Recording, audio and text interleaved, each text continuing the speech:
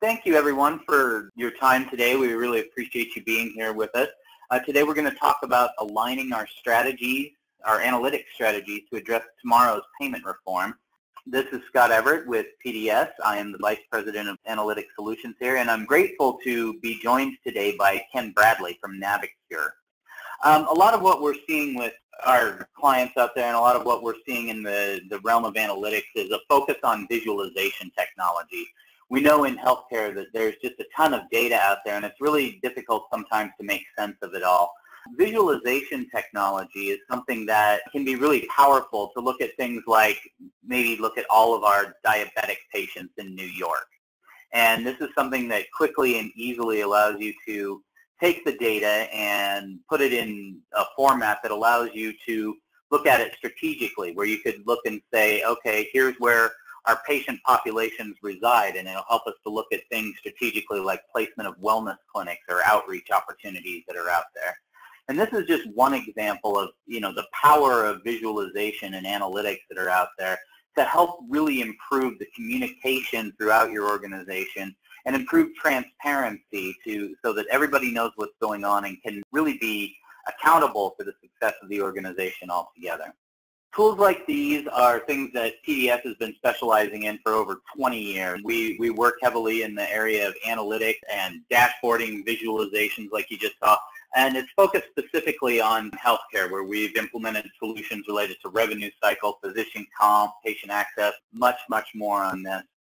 Today we're working with Ken Bradley from Navicure.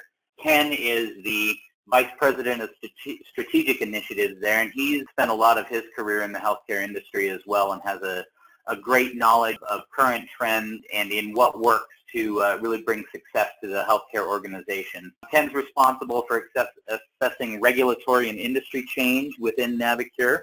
And Ken, could you just take a minute and introduce us to uh, Navicure and what you do there?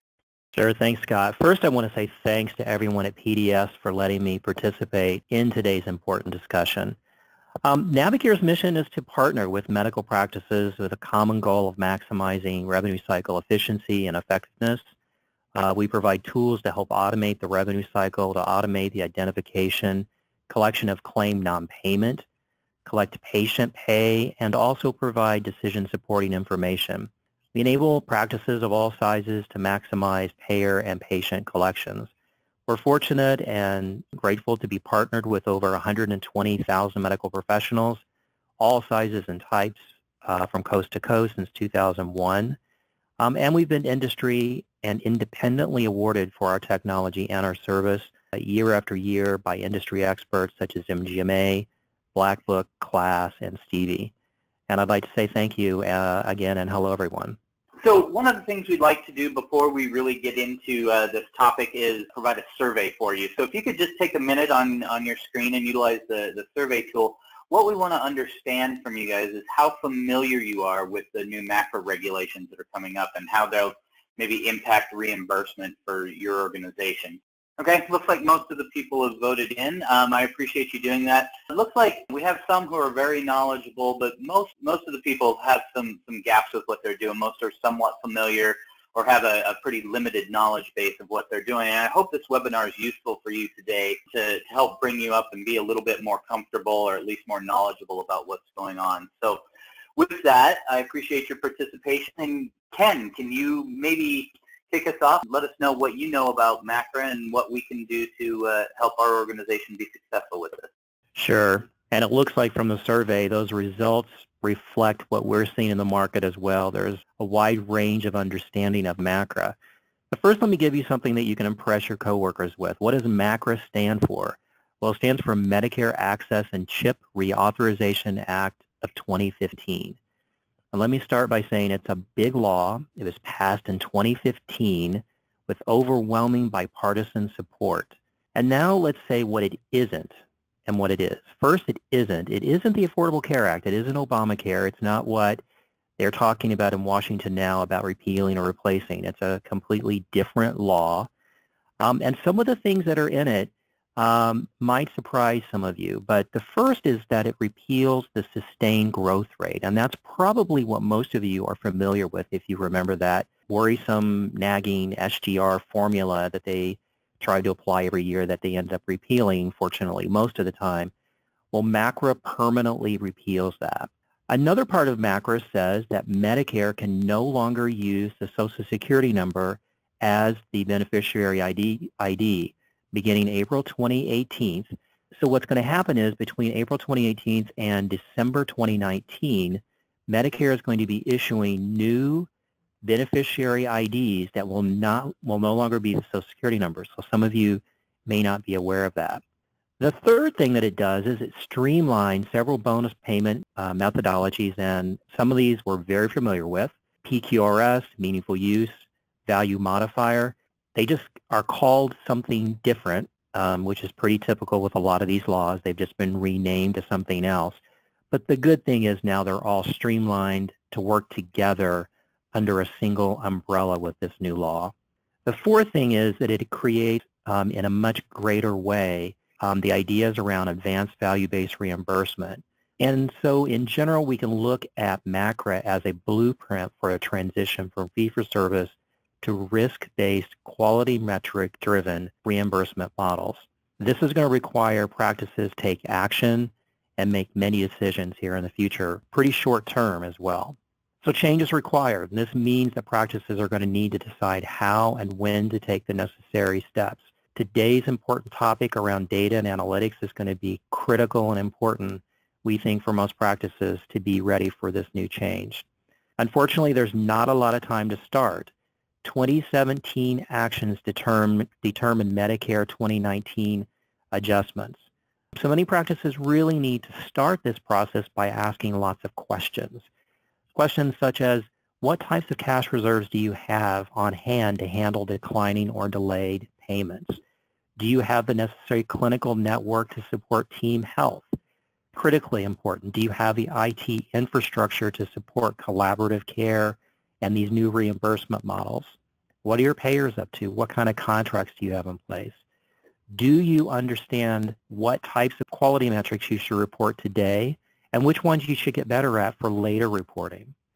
So let's take a look at some of the components of today's revenue cycle. For the most part, it's centered around facilities, departments, and specialties. Treatment and payment is silo. There's really not a lot of collaboration there. No one talks to each other. We're not really meaning that in a businesses are usually separate, independent of each other, and really aren't talking together as what we would consider a team. Volume generally means more success, more revenue. And in some ways, we can say there's no accountability, and by that, we really mean no transparency around the quality and the cost that of the services that are being provided today. Patients, unfortunately, are left to figure out this maze of treatment and payment. And providers are likely not coding for, for HCCs, complications, and highest specificities. And why we think that's important to point out is that in the future, these are things that are going to determine how practices are viewed externally. So if those are not being coded today, the outside world may like, likely not know some of the great work that you're doing and some of the complicated work that, that we're doing. So value-based care and reimbursement is the future. So let's look at what a new value-based care reimbursement system might look like. Well, it's going to have some new components and some very new ideas. Coordinated patient care across the care continuum, systems that capture and easily report costs that are associated with treatment throughout that care continuum. There's going to be much greater collaboration of hospitals, specialists, peers, and other high-quality low-cost care providers. Team-based reimbursement and risk contracts and payment distributions and methodologies are going to be much more prevalent in this new revenue cycle um, that we're going to be seeing in the future. Compliance mechanisms to ensure both your compliance and the compliance of your partners is going to be critical to success as well. So how can we begin and what do we need to do to begin? So Scott's going to talk a little bit about how technology can help and technology's role in this new future. Thanks, Ken. Um, really, when you look at it, if you're going to transform the way that you're doing business, it's going to be difficult if the, the technology remains the same. If you look at current state, particularly around like billing systems, you'll notice that it's really focused on single visits, episodes of care, I billed Joe for this, I billed Nancy for that, I got paid, rinse and repeat. Technology is going to have to evolve with the new revenue cycle methodologies as well, where it's going to have to focus more around patients and not just the, the billing of the patients, but problem lists, looking at continuity of care, looking at quality and outcomes.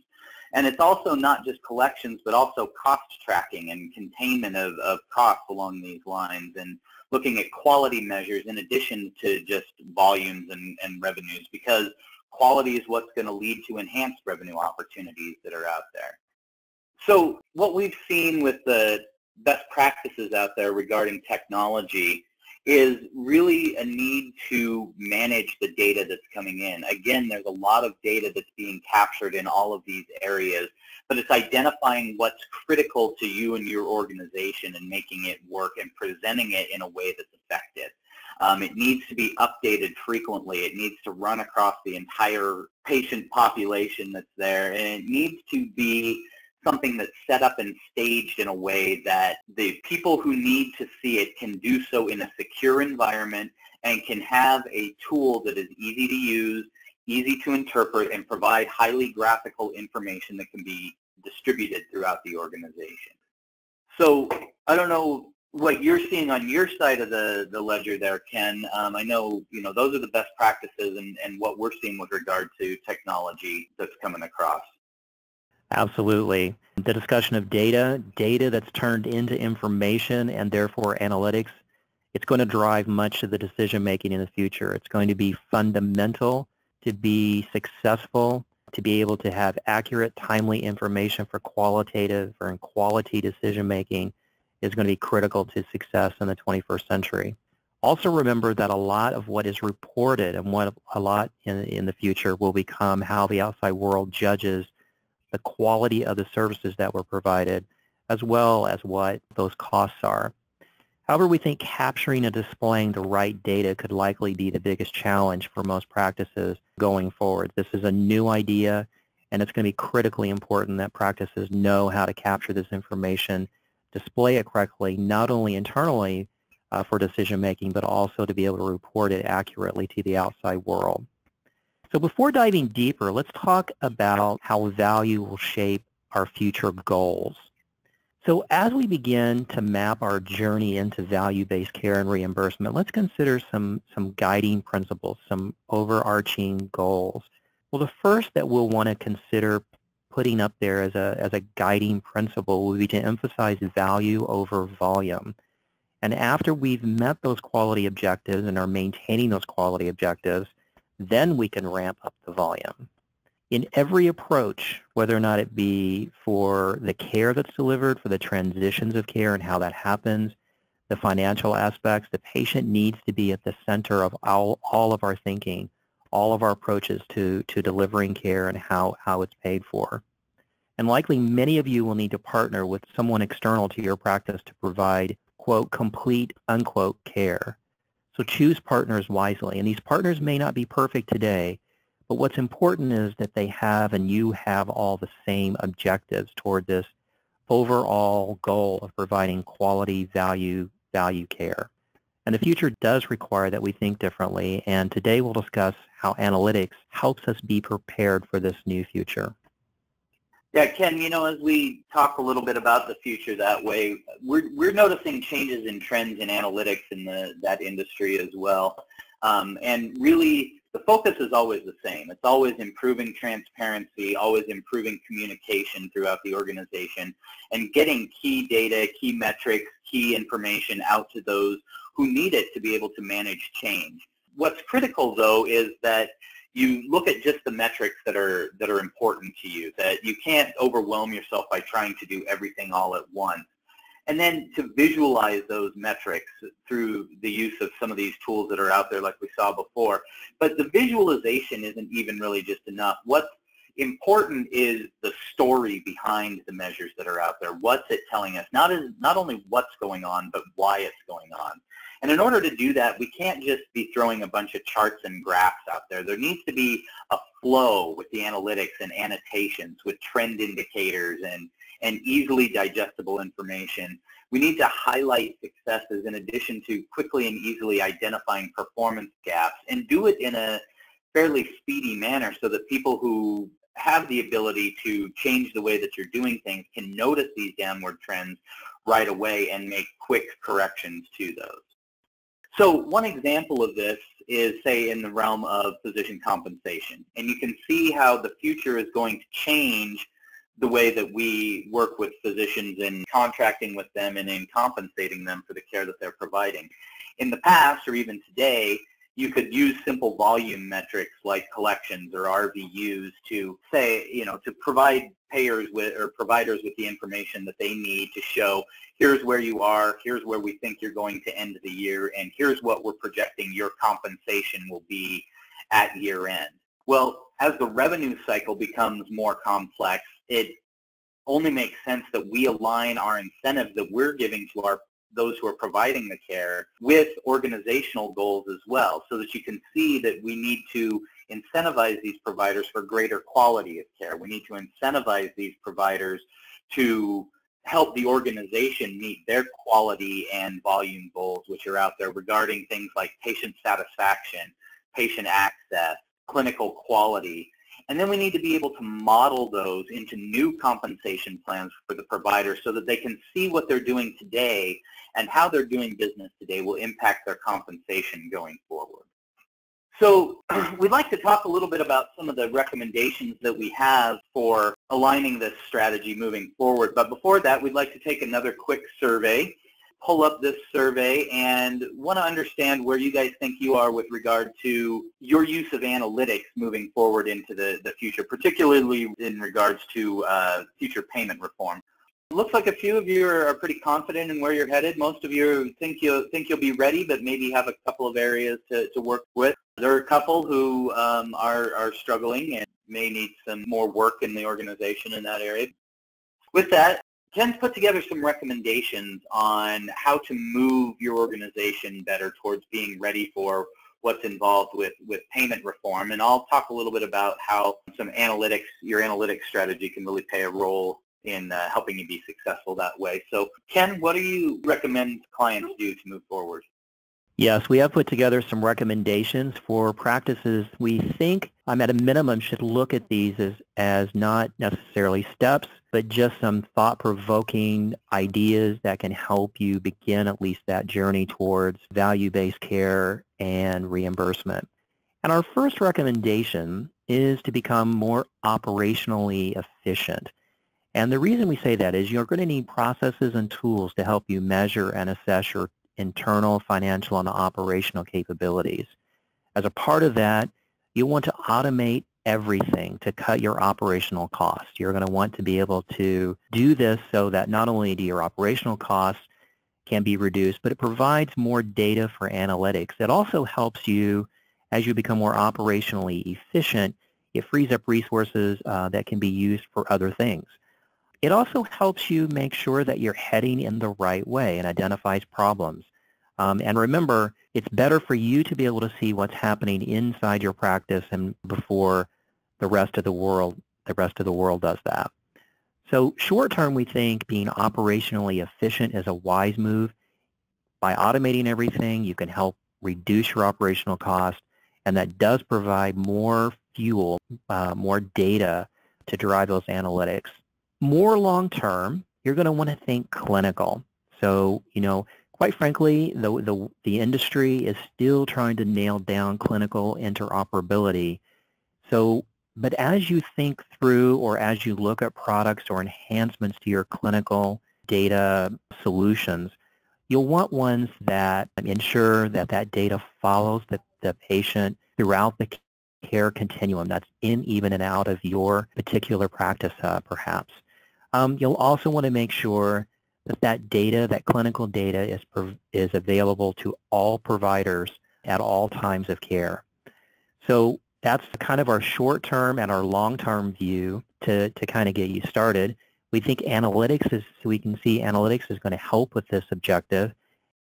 Great. Well, as we, as we move on to the second recommendation, we're seeing that and we're asking that many of you may be doing this, some, of, some of this today, but a much more comprehensive way um, is to measure and assess your current financial and operational performance for your payers and providers and perhaps even even your partners. So many of you are probably doing some of this today, but we think a much more comprehensive review of things like your gross and net collection numbers, clean claim rates, denial rates, hassle factors. So by that we mean, you know, how many times do you have to submit a claim before it gets paid? Um, these are going to be critical as we move forward into a much more complex revenue cycle. You're going to need to know these numbers pretty much instantaneously. And who you partner with is important. So understanding which payers, which providers, which partners is going to be um, very important in the future. So those partnerships are going to be important. Your goal here is to get operationally efficient again and for you to understand how financially successful you are with your payers so you can make those decisions about basically who you want to do business with. It's going to be critical that we make, again, the right partnership decisions going forward. So with recommendation two, we were thinking about and suggesting an internal review of how successful you are um, internally um, and how and with those with those partners that you have today. In our third recommendation, we're suggesting that you begin to assess your ex external environment, in particular with your payers. So what payers are in your market? What types of networks and alternative payment models do they have now, or what ones are they planning? What are your competitors doing, and what are they up to? Can you get their quality and cost numbers? Likewise, for your referral partners, what are their quality and cost numbers? It's important to begin this assessment so that you have a full picture of really what you're going to be up against and also know who could potentially be your partners in the future. So understanding uh, the payers, what they're up to is critical. And equally critical is an understanding of the patients that you provide services to. So our fourth recommendation is to begin an assessment of your patient population and then ancillary what services you're providing to that patient population. What is the patient demographic? What does your patient demographic look like? What types of conditions are you treating? Do you have a patient stratification um, and a cohort analysis ready for review? You know, what types of chronic conditions and comorbidities are you are you treating and do these patients have? Who are your high quali um, utilizers and why? Um, what are the top services that you're providing today? Um, this is important to ensure that you're providing the right services and who we're currently or, or may decide to partner with um, in the future. So in addition, understanding the complex makeup of conditions you treat can provide sources of new revenue. And I think Scott wants to talk about the ways that we can start to see by understanding our patient population that we have some new potential revenue opportunities here. Yeah, thanks, Ken. Risk adjustment, risk acuity, risk stratification is something that we've been working with clients more and more on recently. And it's something that is really a great tool that's out there for uh, not just your clinical teams and your operations team, but your finance and contracting teams as well. Risk analysis is really about utilizing risk scores.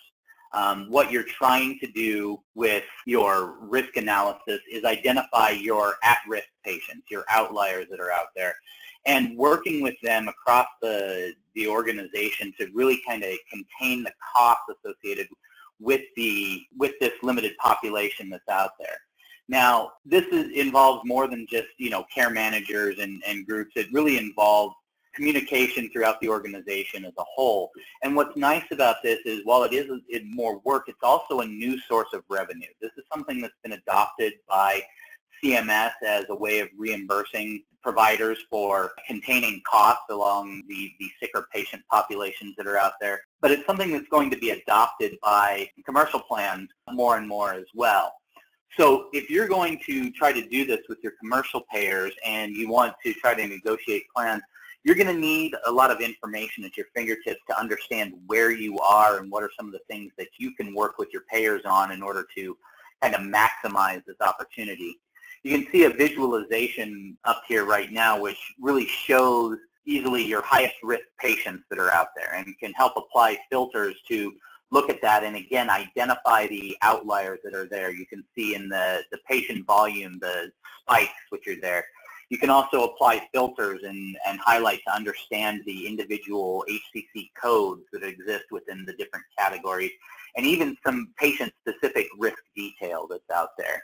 Uh, this is something that will help you understand the revenues that are associated with these and, and again, give you a better understanding of the costs that are there so that you can work with your payers to really kind of keep those more in line with what they would expect and provide better care at the same time.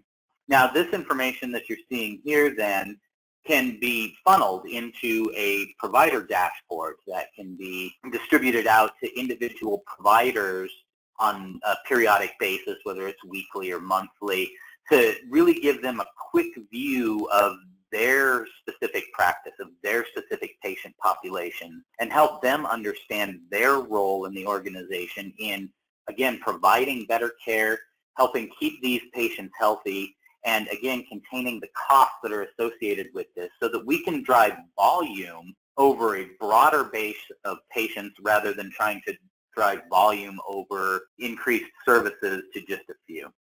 So it sounds like this new this new revenue cycle that we may have in the future does have some new revenue potential as well, and that's exciting, I think, for all of us to hear. Our fifth recommendation and our sixth recommendation, so the next couple of recommendations are really around cost. So the fifth recommendation is to determine as accurately as possible what your cost is to provide the services that you make up uh, most of your revenue. So by that, what we mean is we're kind of getting to a cost a cost accounting idea here, but is we need a detailed understanding of the services that we provide today and who is providing the care. So it's very likely that physician time is the most costly. So ask yourself, could a nurse practitioner do some of, do some of these services or some service component and free up our physicians to see additional patients? I mean, that's a great, that's a great opportunity to not only expand your, your patient base, but make your physicians really more more efficient even. But make sure to make changes only after you understand your current contract requirements. We have to make very, very sure that you do things in conjunction and make all of these types of changes in conjunction after a complete, full understanding of what your current contractual obligations and requirements are. So after you have an understanding of cost, we can perhaps then use this information to strategically cut costs. And how can we cut costs administratively and potentially even clinically. So start asking questions. You know, can we automate? We've kind of been saying, at least on the revenue cycle side, Navicure sees ways that we can streamline the, the revenue cycle and make practices much more operationally efficient, again, freeing up costs and resources for, for other things. You know, on the clinical side, can you reuse a test that was done outside your office? Now you're beginning to think in the value-based world uh, when you ask questions like that um, your DME cost and utilization. You know, can you do something to reduce hospitalization or de emergency department usage? Such things as additional office hours. Again, though, do these things and make sure that you're sitting at a table with your with your contract your your payer side uh, contract negotiators that make sure you get credit for doing things like this. And finally, other things, some newer ideas around telehealth, you know, to assist in managing patients with chronic illness.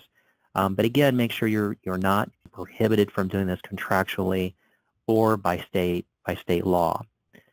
So finally, when deciding to cut cost, please remember quality always comes first. Get the quality aspects nailed first. Get those nailed solid. Make sure that your quality metrics stay, stay the same or hopefully even continually improve. But don't cut cost just to cut cost. Make sure your quality metrics remain superior to, to at least your competitors and make sure your patients are satisfied with the quality that they're getting.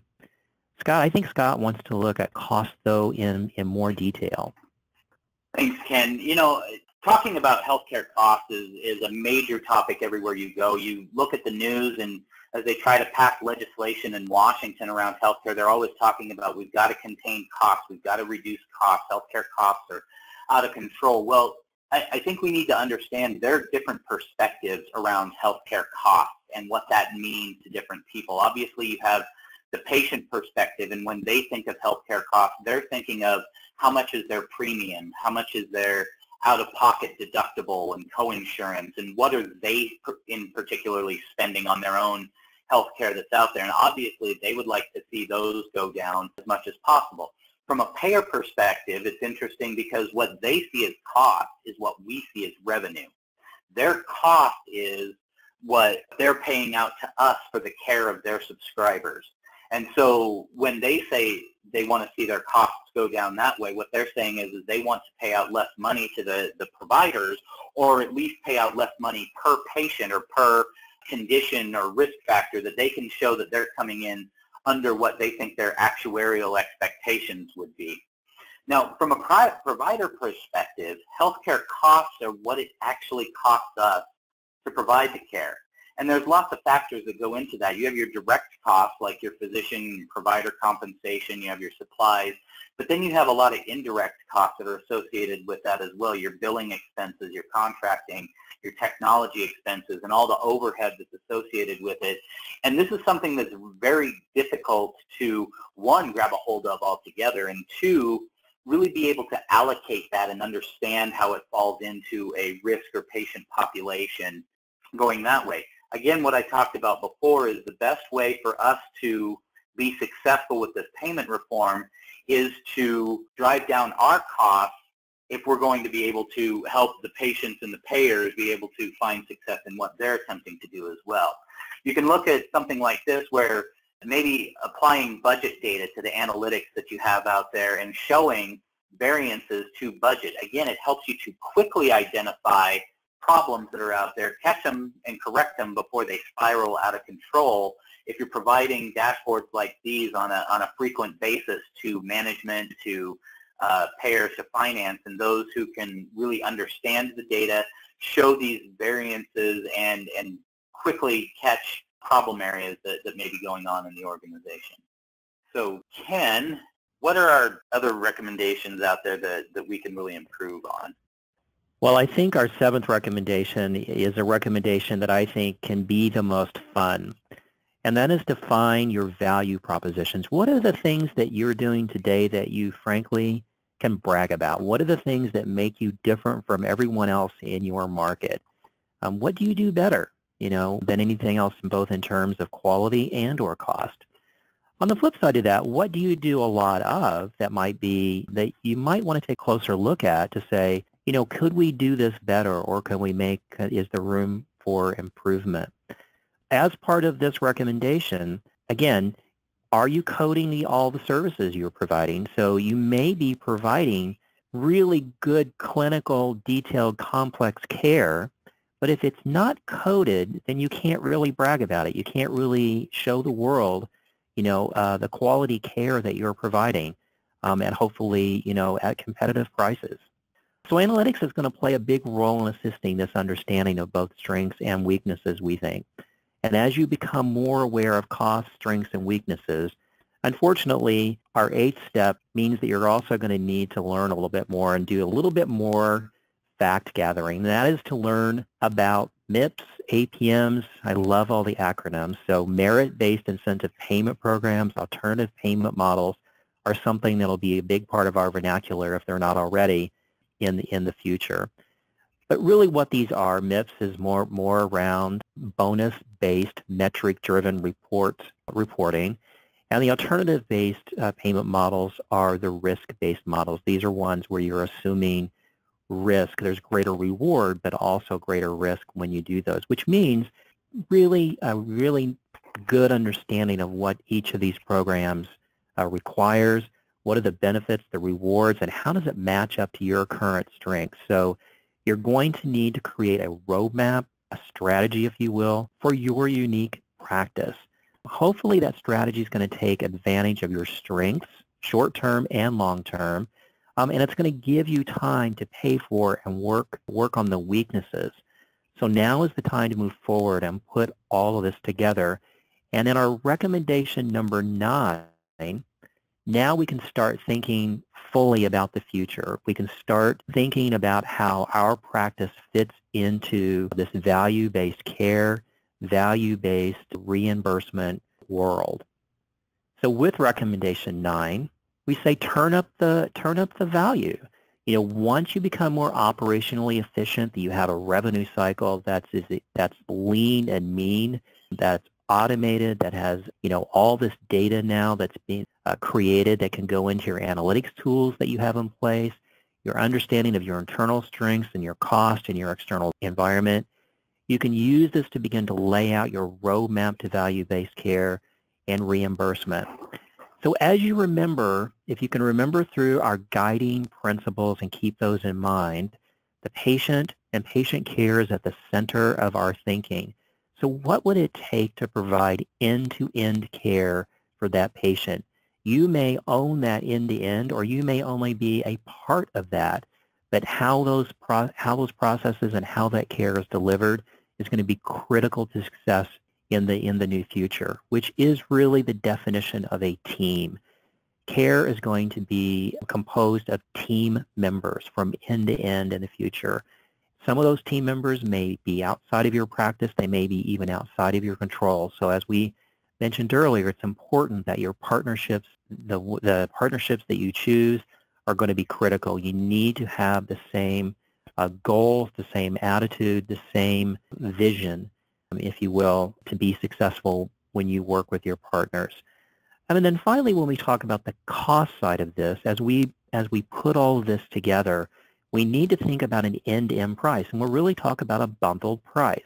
So what can we provide working as a team collectively do better than anyone else in the world, and in particular in our competitive market, as a team, and what would that look like, and what would that bundle be called, and what would we what would be priced at? So now that's beginning to think in the value world, and as you get better and better, you can take on more risk. You can take on more, not only more risk, but then you get more revenue um, opportunities.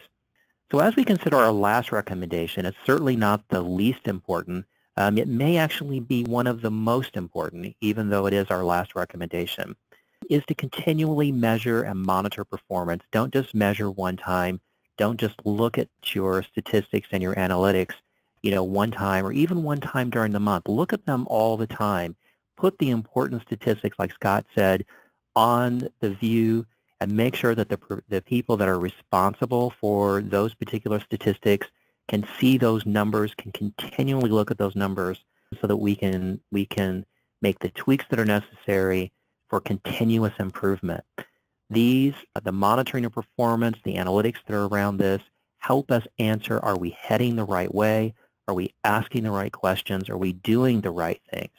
And remember the things that we're seeing today are the things that the world will see in the future. The way the world is going to look at us is what is likely the, the benchmarks that we're seeing today. So those are going to, at some point, be transparent potentially to even our patients, but certainly to our peers, certainly to our providers. So analytics, how and how accurate they are, how easy they are to, to see is going to play a critical role in guiding us through this complex transmission. And I think Scott wants to show us an example of, of how we can put information in front of the right people at the right time in the right way. Thanks, Ken. It, really what's important to understand with, again, improving transparency and improving communication out there is that you don't overwhelm your end users with a ton of metrics that are out there. Obviously, there are lots and lots of things you can measure. There are lots and lots of things that are important to care, but what's important is being able to give the people who are trying to manage change the information that they need and just the information that's most critical to them. And what is really important are, are giving them quick answers, giving them more than just, they don't want a bunch of numbers to try to have to digest and spend a lot of time looking at reports. They want quick and easy trend indicators like you see above. Here's where we're doing well. Here's where we're struggling. Let's put plans in place in order to fill those gaps. You want to be able to understand five or six key questions that need to be answered and are they being answered the right way or are those, is this a place where we're struggling? And you want to give them quick views to trends. Are trends moving in the right direction? Look at percentages and pie charts of, you know, are these percentages that we're seeing appropriate and what we want to be seeing? And then highlighting just the three or four key numbers that they're accountable for finding success with. Now, one of the things that's important is understanding that what you provide to finance may have to be a little bit different than what you provide to patient access, which may be a little bit different to what you're providing to operations, etc.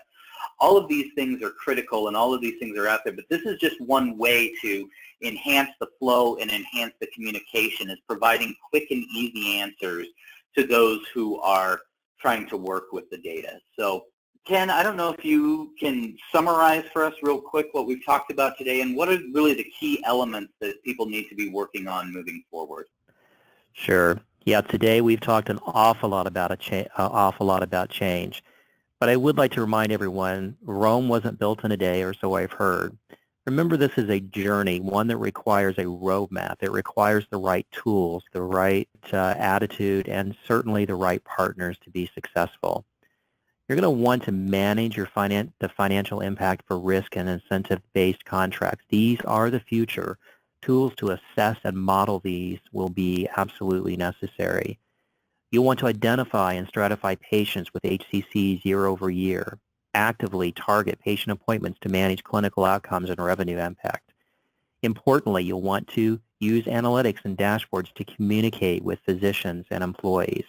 This accurate and easily understood information is going to be vital to the modern practice in the future.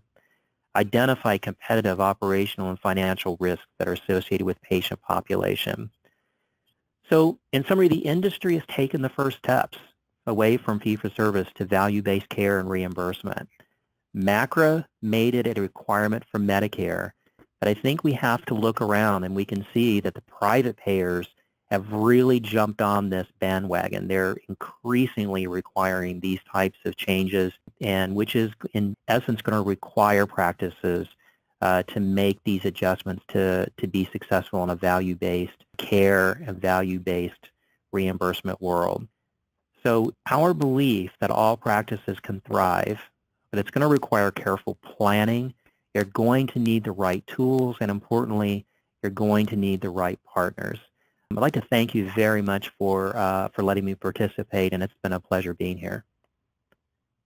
Thanks, Ken. Um, from our perspective, looking at this from an analytical side of things, I, changes are coming, and in order to prepare for that, it's really important to take an inventory internally of what are your current tool sets? How are your analytics team? Do you have what you're going to need in order to be able to uh, effectively communicate and distribute information throughout your organization to the people who need it? Have you seen the gaps that you have and do you have a plan in place to align your strategies to stay ahead of the curve?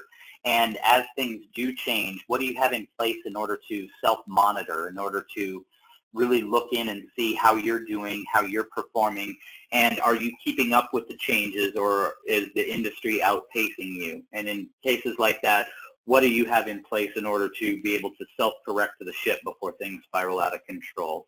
So with that, I thank you all for your participation today, and please keep your eye out for um, additional webinars coming out from uh, PDS in the very near future. Thank you.